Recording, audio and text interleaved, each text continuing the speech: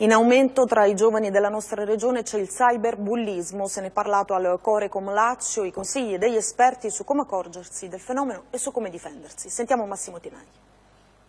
Sensibilizzare ragazzi, genitori e docenti sui pericoli presenti sulla rete, ma anche formarli per dare loro gli strumenti per riconoscerli ed evitarli. È questo l'obiettivo cardine del Comitato regionale per le comunicazioni del Lazio, un fenomeno in aumento esponenziale nella nostra regione che coinvolge molti giovani di fascia di età compresa tra gli 8 e i 18 anni. Tutti i ragazzi devono eh, non cadere diciamo, nella tentazione di, quando eh, pensano di essere vittime di, di, un fenomeno di cyberbullismo, la tentazione di chiudersi in se stessi. Bisogna parlarne con gli amici, bisogna parlarne con i genitori, bisogna parlare con i docenti.